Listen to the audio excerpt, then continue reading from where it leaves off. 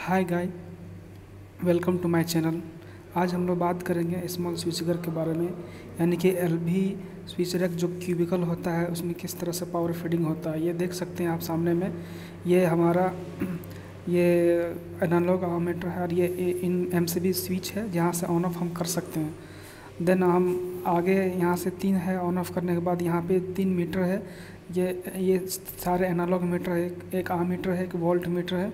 According to power जितना हमको power चाहिए, उसी हिसाब से ये बनाया गया। ये देखिए सामने में वोल्ट मीटर है।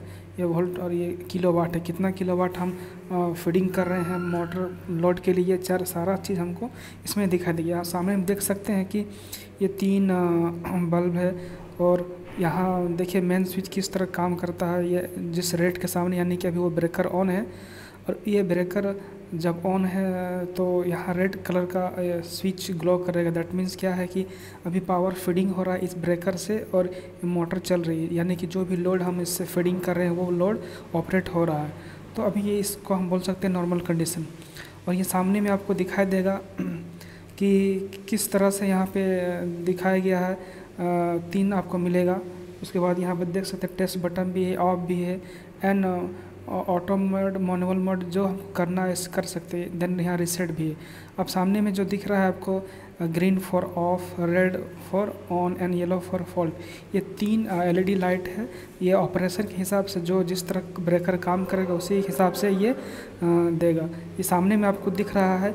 ये है आपका ग्राउंड फॉल्ट रिले है और ये दोनों में एक टाइमर है, एक करंट है। अभी जो शो कर रहा है ऊपर में, वो करंट है। फॉल्ट करें यानी कितना फॉल्ट में हम कितना करंट ट्रिप करेंगे, इसके लिए ये फॉल्ट दिया गया, ठीक है? देन नीचे में आप देख सकते हैं रिले सेटिंग करें, यानी कि कितना करंट ओवर करंट जाएगा तो हम उसको ट्रिपिंग करेंगे।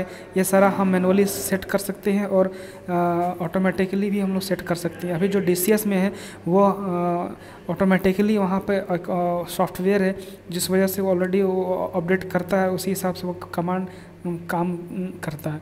तो जहाँ पे यहाँ देख लेना कि इतना ये जो नीचे देख रहे हैं, वो टाइमिंग है, कितना टाइम में हमको ट्रिप कराना है। जो भी मेरा फॉल्ट आएगा वो फॉल्ट के लिए हम लोग यहाँ पे यूज़ करेंगे। तो यहाँ ऑटो भी है मैनुअल में। अगर हम ऑटो में डाले हैं तो मैनुअल वर्क नहीं करेगा। और मैनुअल में डालेंगे तो ऑटो वर्क नहीं करेगा। तो इसके लिए हम लोग यहाँ देख सकते हैं। और जो सामने में जो दिख रहा है येलो कलर का, ये फॉल्ट के लिए है। जब फॉल्ट होगा तो वो लाइट ग्लो करेगा।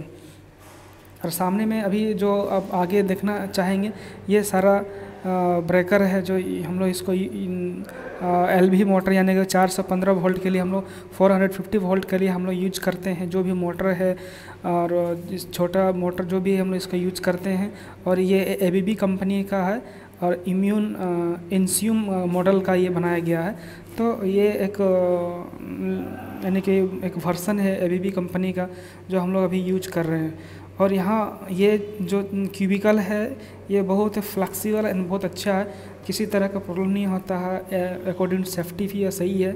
तो आप इसमें देख सकते हैं कि किस तरह का यहाँ पे वर्क कर रहा है। तो ऊपर में जो देख रहे हैं, इसका जो आउट गोइंग है, वो ऊपर की तरफ़ से है इनकमर नीचे से, यानी कि इस ब्रेकर में जो भी इनकमिंग केबल आ रहा है, वो नीचे से है और आउट गोइंग जो है, ऊपर की तरफ़ से है, जो ऊपर में केबल दिख रहा है। तो जो भी अभी एक तरह according to manufacture according to design ये डिज़ाइन किया गया है कि ऊपर तरफ़ से जो भी है, वो आपका पावर जाएगा लोड के लिए, जो भी प्लांट में हम यूज़ कर रहे हैं, और नीचे से इसका फीडिंग हो रहा है।